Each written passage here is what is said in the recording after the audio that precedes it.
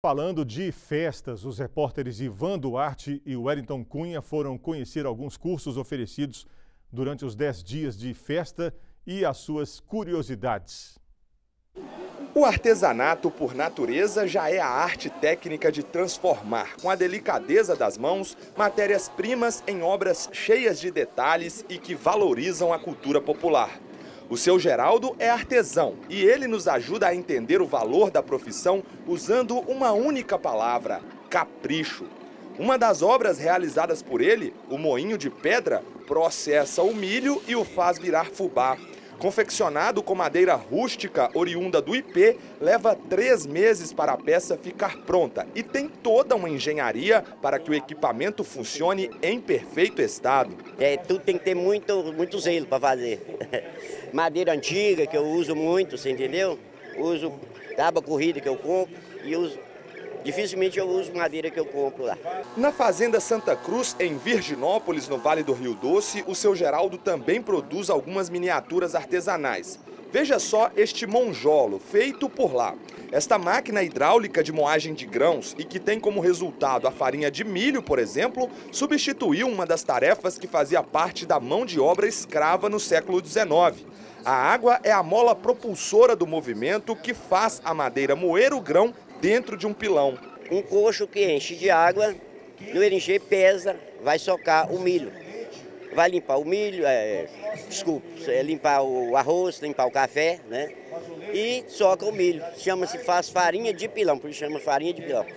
Essas obras que você acabou de ver estão expostas bem aqui, ó, no Parque de Exposições José Tavares Pereira, durante a Expo Agro. O local é em frente ao estande do sistema FAENG Senar, em parceria com o Sindicato Rural de Governador Valadares.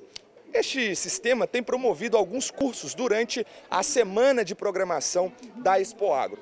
Um desses cursos é de derivados de leite. Está acontecendo bem agora aqui nesta sala, onde eu vou entrar neste momento para mostrar para vocês. Vamos lá então, a gente precisa passar aqui por um procedimento higiênico, né? A Yasmine, que é a instrutora, vai me entregar aqui a touca. Deixa eu tentar fazer um malabarismo aqui para colocar. Pronto, vamos lá conhecer um pouco mais sobre esse trabalho, no qual o objetivo é auxiliar o profissional rural que deseja produzir o próprio queijo, doce e iogurte a encontrar a melhor maneira de fazer isso. Olha só, a Yasmine está lecionando aqui uma aula bem agora. E nessa aula ela ensina, por exemplo, é, métodos de higiene, como produzir mais, como diminuir o desperdício e, claro, também aquela boa receita, né, Yasmine? Conta pra gente o que está acontecendo agora aqui nesse momento. É, nesse momento, gente, nós já fizemos o iogurte e agora chega na parte de adicionar o sabor nele. Né? Então, a gente tem a base do iogurte natural e nós fizemos as geleias das frutas e vamos adicionar no iogurte e envasar nas garrafinhas que já foi previamente sanitizadas. Nós vamos fazer iogurte de maracujá, abacaxi e o morango que está aqui atrás de você. Legal. E o produtor rural que vem, assiste às aulas, o que mais que ele encontra aqui? Detalhe um pouquinho mais sobre este curso para a gente, por favor. Esse é um curso de 40 horas, né, que vem trazer capacitação técnica para o produtor rural para fazer produtos de qualidade a nível comercial. Então ele vem vai aprender iogurte, né, de garrafa, doce de leite, os queijos Minas Frescal, mussarela, Minas Padrão, ricota, requeijão e barra. O curso sobre como defumar carnes e pescados é outro ensinamento ofertado gratuitamente aos produtores rurais.